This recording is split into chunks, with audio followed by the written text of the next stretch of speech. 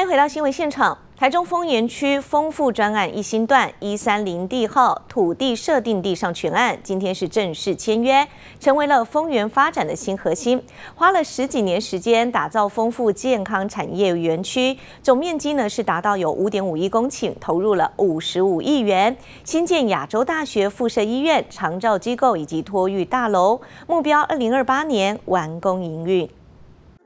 好吗？丰富专案赞。签下合约，丰原区丰富专案一星段一千一百三十地号土地设定地上全案，今天正式签约。这个幼小的到老的，所以全龄的照护，好，那这个不仅是说照护到我们山城地区，甚至更大范围的我们市民的健康之外，最重要在经济方面也创造了至少。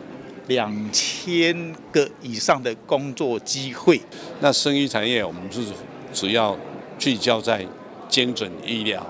哦，那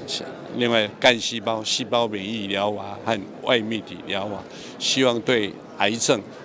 还有脑神经疾病哦的病患哦能够有帮助。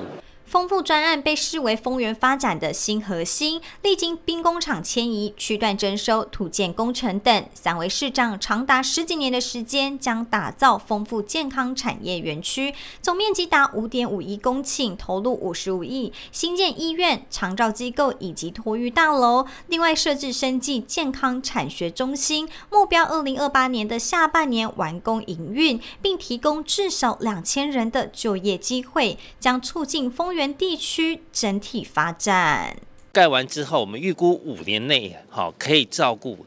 谭雅神后峰三十万，包括产业啊，包括民众，让地方在长照上面，在健康上面，在整个全龄照护上面，都让大丰原地区的民众跟市民得到更好的照顾哦。我们真的非常期待，引颈盼望。丰富健康园区不仅丰园区受惠，同时也照顾到潭子、神冈以及后里等山线地区医疗长照的需求，大幅提升了民众就医的便利性。